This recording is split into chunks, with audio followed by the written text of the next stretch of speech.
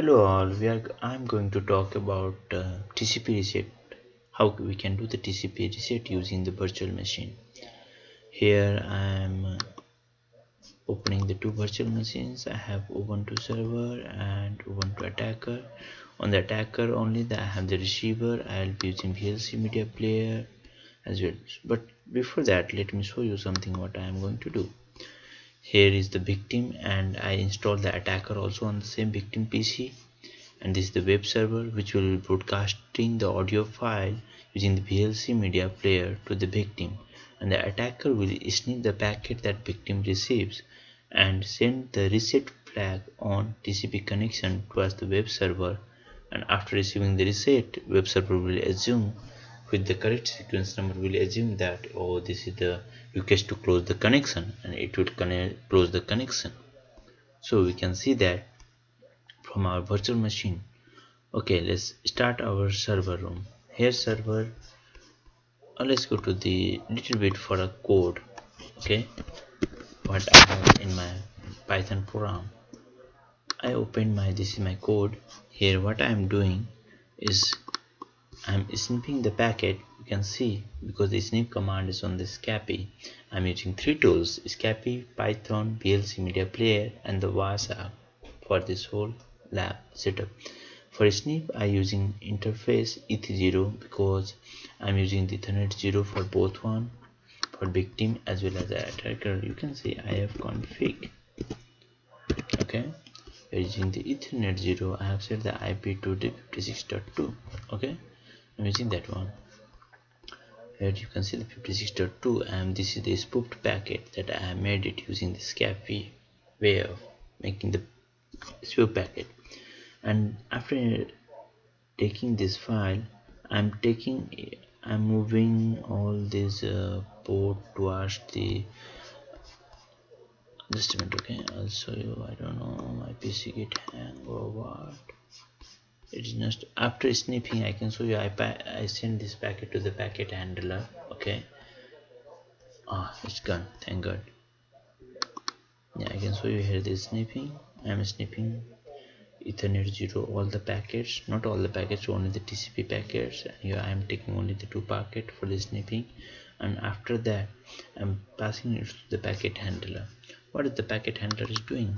This is the one of the function that I've already defined where I'll be abstracting the IP and I also compare that IP whether it is the IP of the victim or not. If the, it is the IP of the victim I will get the sequence number of that victim TCP sent packet and send the sequence number. I will be passing into the one of the spoofed packet and making a reset flag on and I will be sending towards the destination. Destination is the one of the host host is the one of the server that is broadcasting the audio file. Okay 5061 I will show you this and now I will show you also the how I am going to stream the VLC packet VLC audio file from server to the victim. And before that you can see in the virtual machine that your network should be made internal and I can show you here. It is the internal network ah it's glad we have the internal means. My both virtual machines are connected with each other. Here I can go and show you about the server. Here this is the VLC media player and here I can show you my IP address. I have config. Oh you see this is the server with 168.56.1 and that is what we use to keep that IP on the attacker side to sniff the packet okay let's stream one of the audio file using the VLC media player to the stream option. Like add audio file. I'm adding one audio file here. Okay. And uh, the same audio file I want to be stream. I'm doing the next. Here I just select the HTTP and add it. Just remember this port what you used it so that at the the victim side we will be putting the same port don't care about this path. This is just a simple method of uh, broadcasting audio files streaming the audio files i'm using mp3 and now i start streaming it. Let's move towards the attacker. Here this is the vlc media player. Let's open that open network stream. Those network which are on the same can have like streaming using this HTTP URL and you can see about the how PLC can stream in the Google let's play it yeah you can see it here. Now it started to be streaming and the audio file is started playing. Now let's move to this one. You can see this is the Wireshark that I opened or I should show you again. Okay I'll show you again how I have did this Wireshark sudo Wireshark okay. I opened the Wireshark we can see all the TCP packet that it has been captured between the host and the victim. You can see oh let's see the there is the TCP connection between host and listener you can see one one. Okay. This is the one of the search like dot two is the host and dot one is the server I have already shown you. Now you have seen this is already playing here. Now I will fire one command which is having the snipping the packet of this audio connection and it will reset all those connection using the reset flag. Let's go to the terminal. I have all the packet in my desktop so I will do ll yeah I have TCP reset one. Sudo python TCP reset and it will reset the connection. Ah audio is stopped playing. You can see it. Stop it's not moving anyway.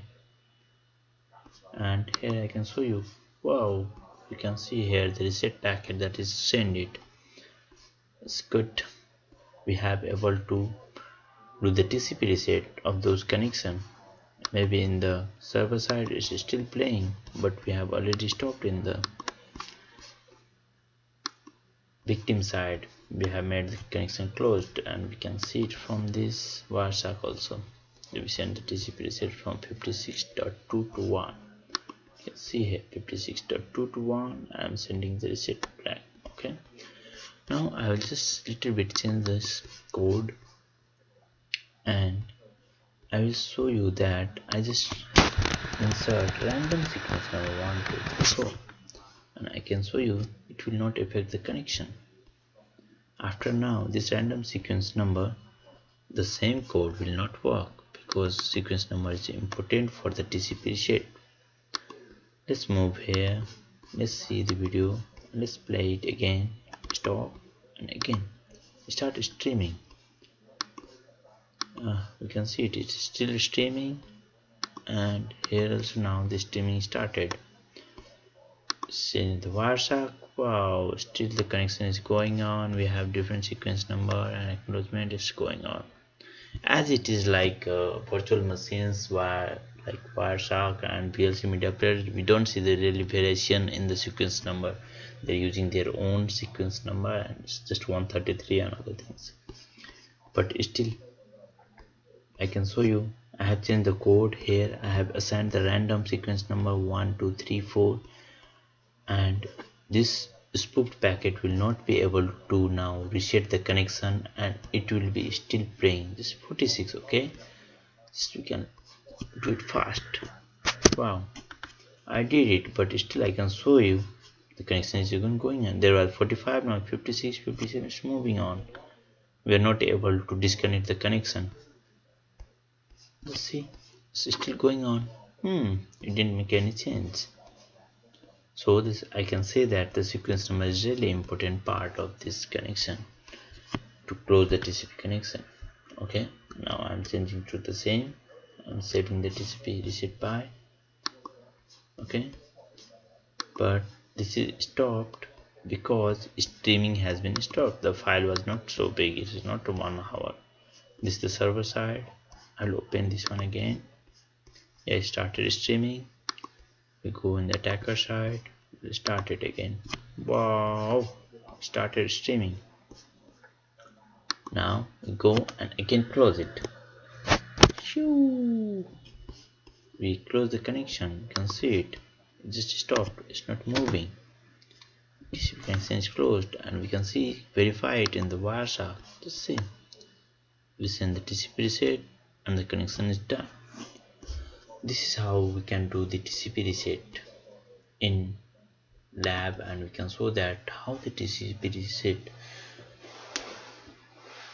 is used to close the connection. This shows that TCP connection though it's the connection oriented it is also the vulnerable if certain attacker is spoofer are sitting on the same, same LAN he can snip the packet and close all the connection. This is just example for using VLC media player. This can be done with the uh, YouTube also and some others TCP connection. Here the same code snip the packet. And depending on the source and destination IP we can spoof the packet source port and close the connection. That's it. It's done. Thank you for watching. Thanks a lot. Bye